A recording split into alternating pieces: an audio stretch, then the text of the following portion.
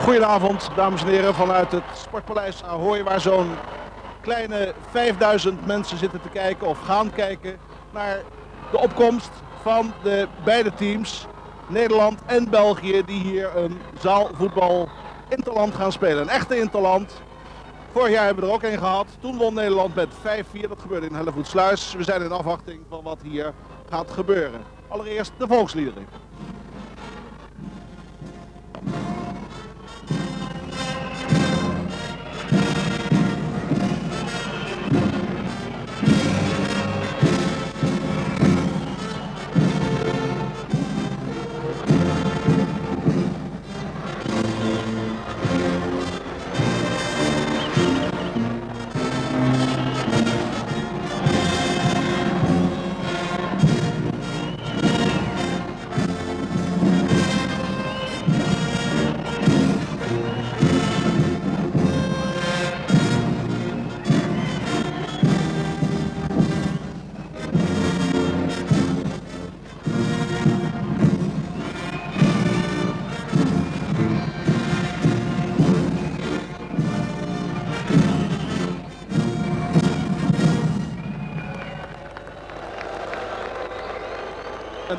De Brabantsone. U kent uh, de melodie, dan u het Wilhelmus.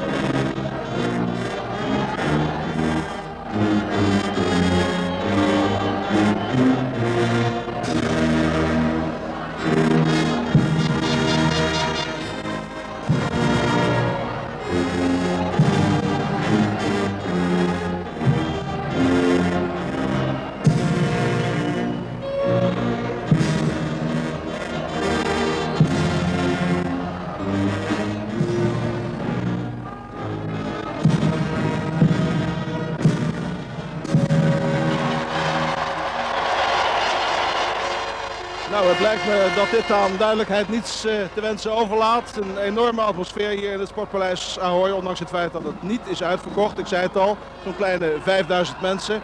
U kijkt naar het uh, arbitraire, hoop ik niet, maar in ieder geval wel het arbitrale viertal. In het midden, de bruinste, dat is de scheidsrechter Chris Verhagen uit Amsterdam. Hij wordt gesecundeerd door twee Belgische grensrechters. Willy Delchambre en Michel Jolijt. De heer De Rij is de tijdwaarnemer en die verzorgt de halve de administratie. Hij staat uh, aan de rechterzijde van de scheidsrechter. Wel, de beide teams hebben zich opgesteld. Dit uh, zijn de Belgen. We gaan uh, niet het rijtje langs. Ik noem u al de naam. Ivan van Rijkel, keeper die we van het minivoetbal kennen. Dan Henk Cordy, Jaak Franke, Frans Franke, geen broers. Nico Sillissen, Leen, Leon Konings, Robert Belmans en Jos Gemelen. Dat zijn ze. Team staat trouwens onder leiding van Miel van Oerle. Dit is de coach van het Nederlandse team, Jaap Doornbos. Daarnaast zien we Vic Hermans, bekend ook van het minivoetbal. Dan een speler die uh, mij niet bekend is, maar hij moet Frans Beuninger zijn. Dan uh, Henk ten Katen, Arie Dijk, ook bekend van het minivoetbal. Dan de reservekeeper Bab Geel. We gaan omlaag, komen terecht bij de aanvoerder Paul Scheuring, ook een minivoetballer. André van der Leij, geen nader commentaar noodzakelijk. Ook een uh, speler die uh, reserve zal zijn vanavond. Dat is Schilber Hegelen, dan Frans Bouwman. En tenslotte de man die het doel zal verdedigen, Fred de Vos van Sir Jordaan uit Amsterdam. Wel, dat zijn uh, de plaatjes. Ik denk dat de beide teams zich gaan intrappen, inspelen. De Belgen zijn daar al mee bezig geeft mij de gelegenheid om te vertellen dat uh, de Belgen niet in een allersterkste opstelling hier verschijnen. Ze hebben wel een team dat representatief is voor uh, de kwaliteit van het Belgische zaalvoetbal. Dat zo'n 10.000 zaalvoetballers stelt. Nederland heeft er veel meer. Ik meen dat het er zo'n 60.000 zijn. Maar mensen als uh, Robert van Overloop en Alain van Boven en Harry Geuns. Mensen die wij kennen van het Belgische minivoetbalteam. Die zijn er niet bij.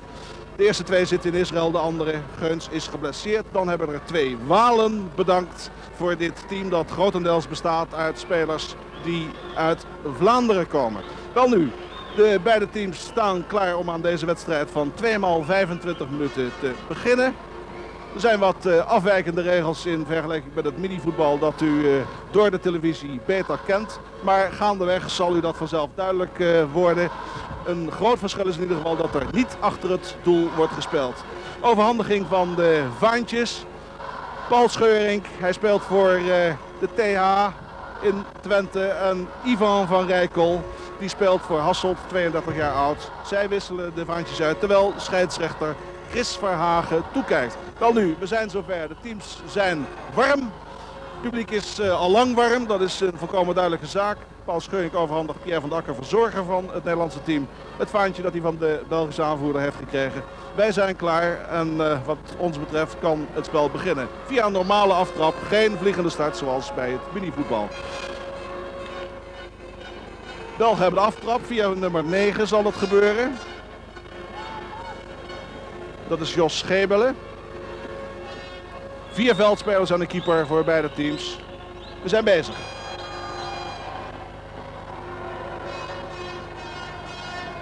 Belgen hebben hier vanmiddag getraind en uh, maakte de indruk dat ze behoudend zouden gaan voetballen. Nederlanders die ook trainden daarentegen hebben zeer offensieve patroon ingestudeerd. Fik Hermans. Scheuring in een uitstekende dieptepaas waar uh, van Rijkel zich op verkijkt. Henk Cordy aan de bal voor de Belgen. Kan hem niet kwijt. Dan de spits. Jos Gebel is dat. Een, uh, ja, de bal is achter geweest. Ik zei het, er achter dat doel niet gespeeld worden. Corner voor de Belgen. Gebelen achter die bal. Frans Franke, balbezit. Gebelen weer. Frans Franke nu weer.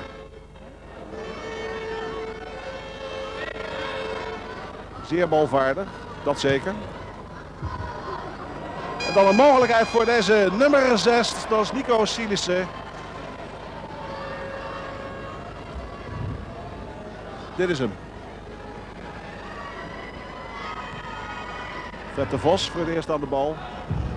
Vic Hermans. Paul Scheuring. Opbouw bij Nederland, zeer traag. Men tast elkaar af zoekt ruimte terwijl die Belgen met z'n allen teruggaan. Paul Scheuring. André van der Leij.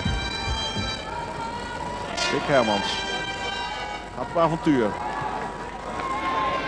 Frans Franke is dat. Ja, uitstekende 1-2 combinatie. Frans Franke. En het wordt geen goal door deze zeer attente Paul Scheuring. Belgen hebben geoefend tegen het militaire zaalvoetbalteam. En verloren die wedstrijd met 6-5. Stonden wel binnen 10 minuten met 3-0 voor. Nederland moet dus op zijn hoede zijn. Arie Riedijk aan de bal. Ten overvloede vertel ik uh, dat Nederland van links naar rechts speelt. André van der Leij. Riedijk. Nederland heeft veel balbezit. Dan deze uitstekende dieptepaas waar Van der Leij niet bij kan komen. Gebelen. Sterke jongen is dat. Het uh, zo te zien een uitstekend schot in de been. En zij het niet gericht voor ons nog. De bal mag niet uitgerold worden, maar moet stuiten. Door de lucht gaan. Paul Scheuring. Zeer gave techniek. Veld is 40 bij 20. André van der Leij. Er is weinig ruimte. Belgen trekken zich terug. Nederland drukt. Riedijk. Komt er ook niet door. Paul Scheuring, dan maar achteruit. Van der Leij. Nederlandse basisopstelling komt er volgens nog niet door. Van der Leij. Riedijk. En dan het uitstekende snelle schot van Harry Riedijk. Goed gestopt door Ivan van Rijkel. Riedijk gooit hem in.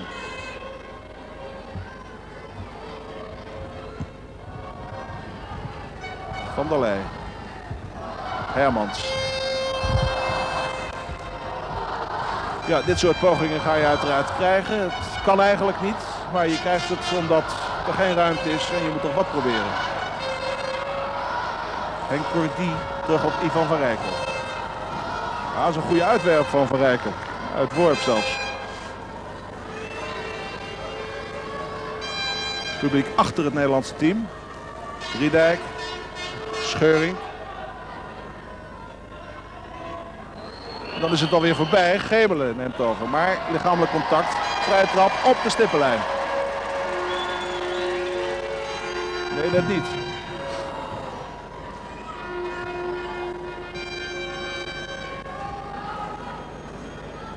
Belgen spelen zaalvoetbal met iets andere regels.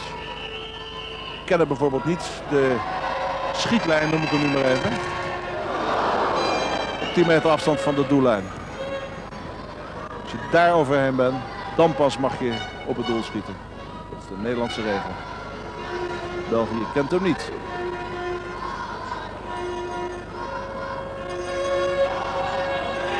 Gebelen weer aangespeeld. Maar dat is zinloos uiteraard.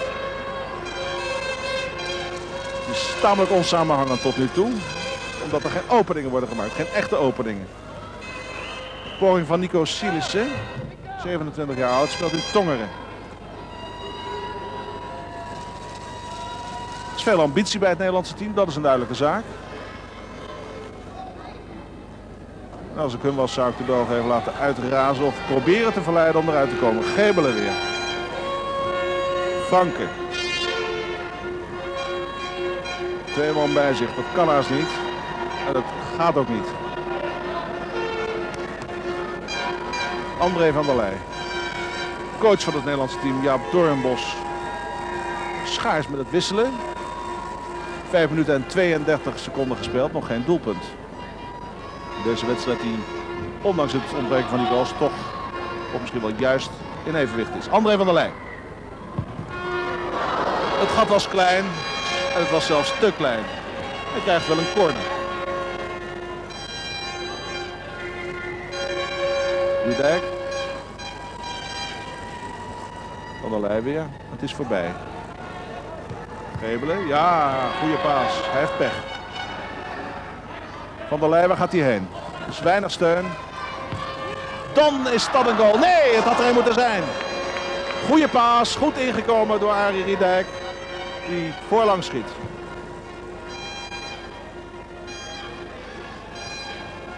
Franke. Frans Franke. Nummer 5. Jaak Franke. Geen broer, ik zei het al. Nog steeds Frans Franke. Dan die paas op Gebelen. Ja, uitstekend gedaan. Goed gestopt, uh, Fred de Vos.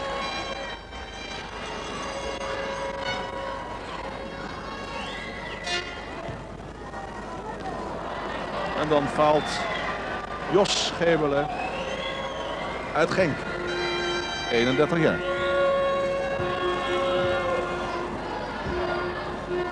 Henk ten Kaat het veld ingekomen. Fraaie stijl. Maar ook hij loopt zich vast.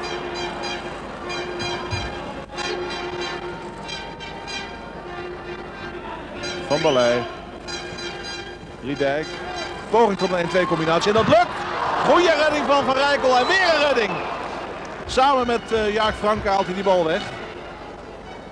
Nederland domineert in deze wedstrijd. 7 minuten en 26 seconden gespeeld. 0-0 is de stand. Ten Katen. Nou, het was een goal waard. Die doorloopbal die eh, André van der Leyen hem gaf. Hij krijgt geen corner en niet eens een ingooi. Frans Franken. Belgisch opbouw verloopt uh, veelvuldig via 1-2 combinaties. Henk Cordy, hij loopt zich dood.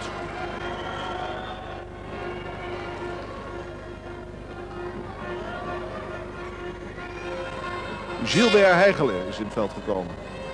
RKHSV. Maastricht. Ten Katen.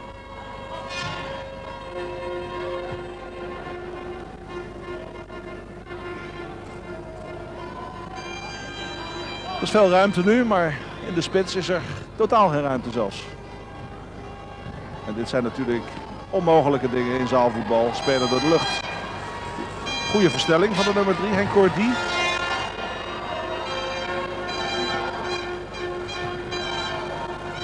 De wedstrijd is allerminst briljant.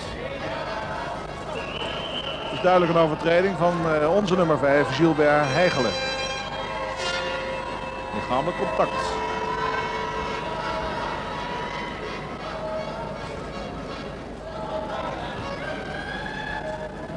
Henk Cordy.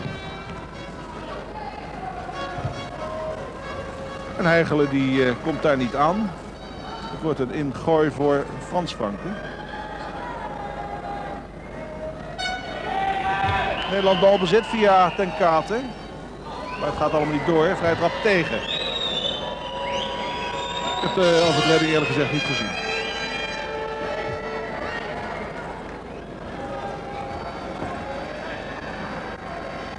Jos Gebelen in deze poging via die vrije trap. Henk Cordy. Ivan van Rijssel.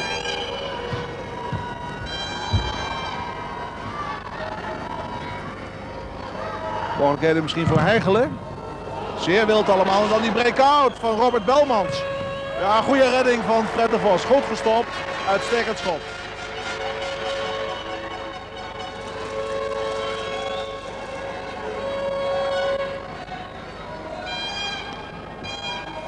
Tien minuten en 1 seconde zijn we bezig. Terwijl die stand maar niet wil veranderen. Het blijft 0-0. Volkomen open wedstrijd. Arie Riedijk balbezit. Ten. In een moeizame situatie. Riedijk weer. Nog niet het veld uit geweest. Ten Katen. Van Natania, Arnhem.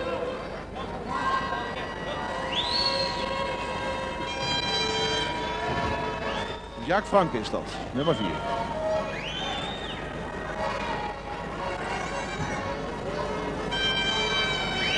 Ten katen, eigenlijk. Het probleem is dat de spitsen niet te bereiken zijn. Frans Bouwen moet het dan doen.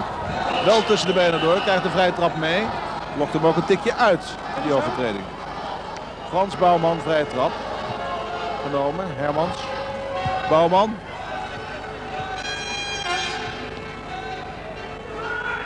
De counter van de Belgen. Hij moet komen. Jacques Franke. Hij heeft nog steeds balbezit. Franke en dan die paas op de nummer 5 en Franke dan weer.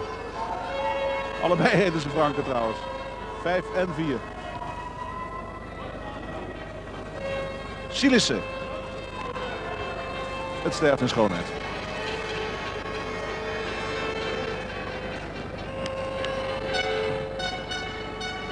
Vic Hermans. Gilbert Heigelen. Frans Bouwman. Kan soms uit onmogelijke situaties toch scoren. Voorlopig goochelt hij niet onaardig. Maar het is weer voorbij. Henk Cordy. Uitstekende paas op de nummer 8. Robert Belmans. En dan dit.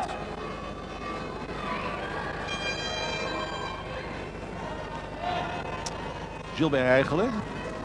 Bouwman, nummer 3. Vic Hermans. Ten Katen. De counter weer van die Belgen. Dat is uh, Franke met Belmans. En dan een uitstekende redding van Fred de Vos. Terwijl uh, Nederland ineens weer kan counteren. 3 tegen 2 situatie. Nu moet die paas komen. Vic Hermans en Frans Bouwman komt niet aan de bal. Niet te bereiken. Nu wordt er goed gejaagd op de man met de bal. Belmans.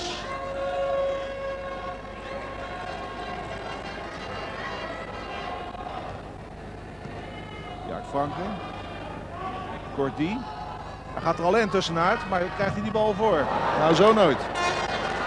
12 minuten en 51 seconden gespeeld. De stand is nog altijd 0-0 in deze zaalvoetbal Interland. De tweede die we officieel tellen. Er is nog eens een derde in België gespeeld, maar dat was met Belgische regels, zonder keeper met een... Ja, uitstekend gedaan! Onverwacht scoort deze André van der Leyen. Een ongelofelijke uithaal. Laten we eens gaan eh, bekijken hoe hij dat deed. Daar komt hij. Gaat naar voren en dan komt hij uithaal. Moet wachten tot hij binnen die schietlijn is. En dan scoort Van der Leyen 1-0 voor Nederland. Schitterende goal en dat alles na 13 minuten en zo'n 25 seconden. Dat slaat aan bij uh, die kleine 5000 toeschouwers hier. Frans Bouwman balbezit. Uitstekend gedaan was dit. Maar voortreffelijk gered door Ivan van Rijkel. Die het er warm van heeft. Hij krijgt de bal dan ook in zijn gezicht. Van der Leyen. Zeer populair. Bouwman, Van der Leij. Ze doet het nu met z'n tweeën tegen drie Belgen.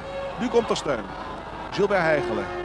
Maar die vierde opkomende man, die uh, zou Paul Scheuring kunnen zijn. Hij wordt nu aangespeeld. Die zien we vooralsnog niet vooraan verschijnen. Frans Bouwman. Wat gaat hij doen? Ja, hij heeft te veel voor zich. Gilbert Heigelen. Paul Scheuring, aanvoerder. Heigelen, hard, over.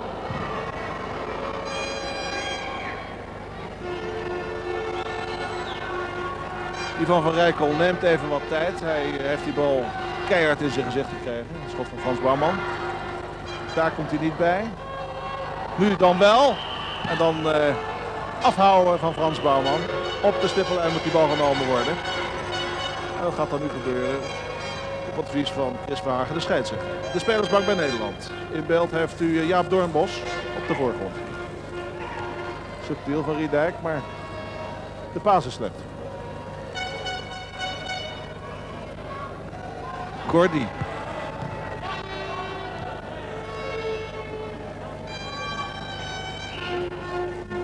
Gordy moet hem nemen. En dan uh, wordt de drie seconden termijn overschreden. En dan gaat Nederland in gooien. Sterker nog, ze gaan een vrij trap nemen, uiteraard.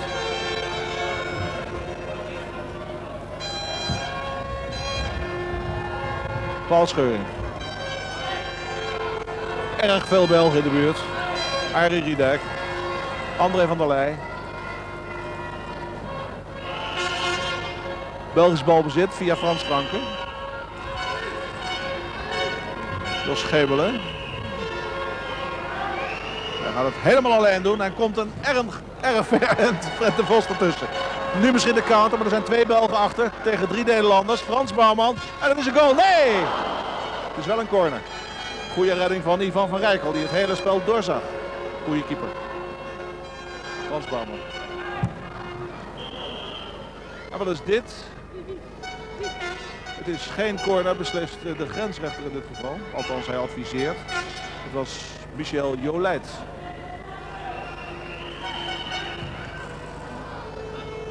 Lichamelijk contact. Overtreding Frans Bouwman. Dan gaan we hem nemen op de stippenlijn.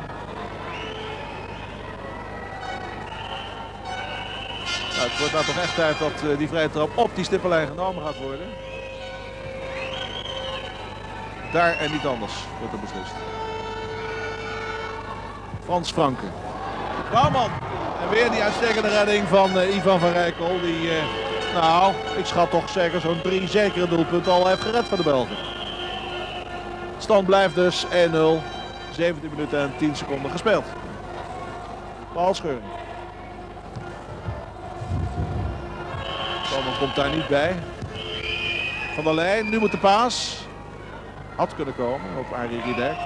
Paul Scheuring aangespeeld. Dit is Riedijk. Ja, erg subtiel gedaan, maar uh, uitstekend weer gestopt door Ivan van Rijkel.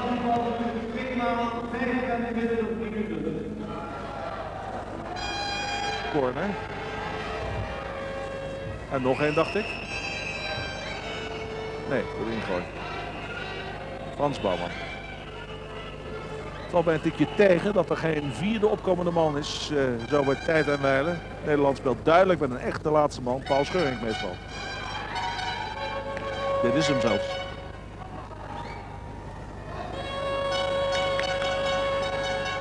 Ja, dit doet hij heel erg knap. En waar gaat hij nu heen? Niet erg ver. Door Schebelen. Hij kan die bal afspelen naar Belmans. En dat doet hij ook. En dan is het geen goal. Weer door de arbeid van uh, Paul Scheuring. En de medewerking uiteraard van onze keeper Fred de Vos.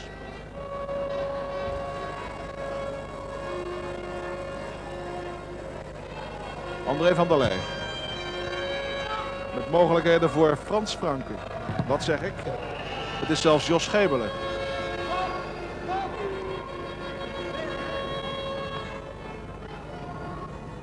Dit is de Belgische coach, Mil van Oerle. Blijkbaar niet geheel tevreden. Geeft aanwijzingen. Harry Riedijk. Stopt omdat er op de tribune gefloten wordt. Onsympathiek is dat. Klopt niet in de combinaties bij het Nederlandse team. Maar goed gezegd dat eh, de Belgen defensief in ieder geval erg veel stoorwerk verrichten. En veel energie in dat facet van het zaalvoetbal stoppen. Maar het vermoordt eerlijk gezegd wel een beetje de aantrekkelijkheid. Van der Leij, Riedijk. Leon Konings. En een uitstekende redding weer van Fred de Vos. Vic Hermans. André van der Leij, veel in het veld.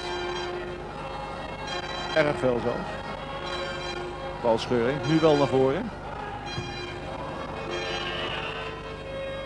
Ja, uitstekend gedaan is dat. Belgische counter via Nico Silissen.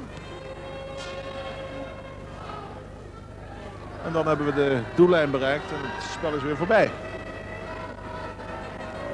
Arie Riedijk aangespeeld. 20 minuten zijn we bezig precies. 1-0 is de score slechts. Wel in het voordeel van Nederland. Bal Scheuring. Ah, echt fraaie passeerbeweging is dat. En dan die counter uiteraard voor de Belgen weer. Cordy heeft die bal, zal moeten passen, doet dat niet. Omdat André van der Leij dit doorziet. Gaat gelijk door, deze André. Ja, en dan zag ik toch Arie Riedijk heel vrij staan bij die Belgische doellijn. In een zeer kansrijke positie. En daar had die paas heen gemoeten. Jos Gebelen. Gebelen weer.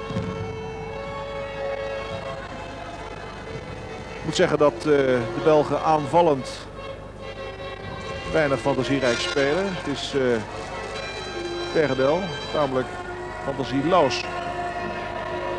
Die van Van Rijkel. En dan krijg je dit soort uh, trucs die alleen met veel geluk kunnen slagen. Henk ten Katen op paas op Arie Riedijk. Die derde man niet aanwezig.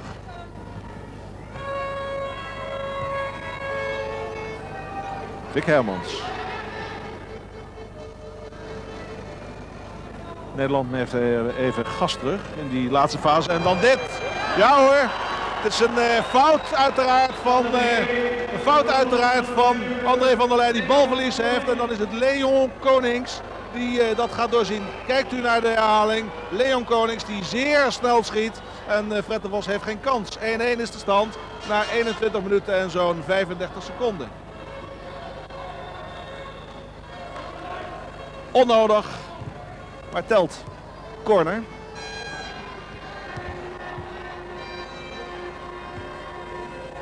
Ingooi. Nog drie uh, minuten. Goed werk daar van Arie Riedijk. Ja, ik verbaas me er eigenlijk uh, over dat André van der Leij in die positie kwam als uh, laatste man. En dan ging meteen de boot in. Henk ten Katen gaat ingooien.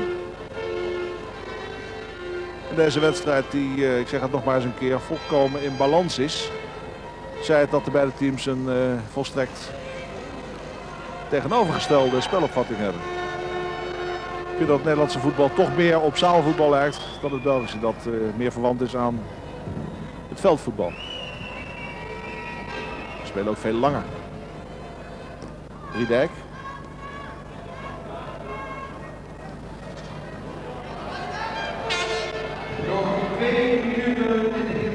Twee minuten te spelen. En dan deze poging van Nico Silissen.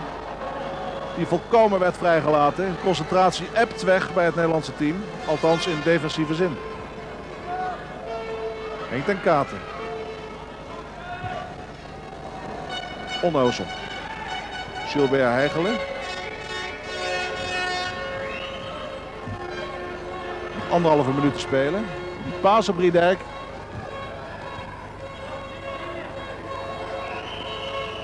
Dan is er lichamelijk contact van Arie Riedijk. En dat beslist deze man, Chris Vragen, de scheidsrechter. Zo te zien terug van Mallorca.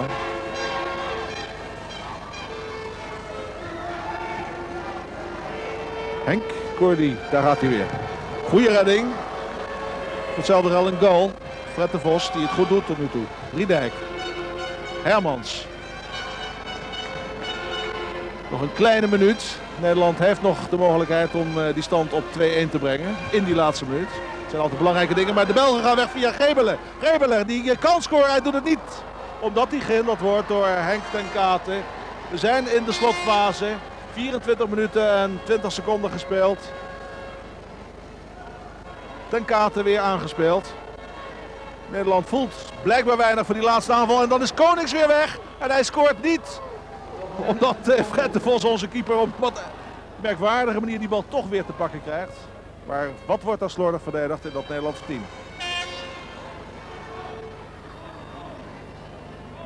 Ook de Belgen willen gaan rusten met deze 1-1 stand. Het publiek gaat aftellen. We zijn in de laatste 10 seconden. Nog 5, nog 4, nog 3, nog 2, nog 1. En dat betekent dat we gaan rusten met een 1-1 stand. Geen uh, briljante eerste helft moet ik zeggen. Goed verdedigen van de Belgen en uh, niet al te briljante aanvallen van het Nederlandse team. En in de slotfase veel balverlies voor het Nederlandse team, met name in de achterste lijn.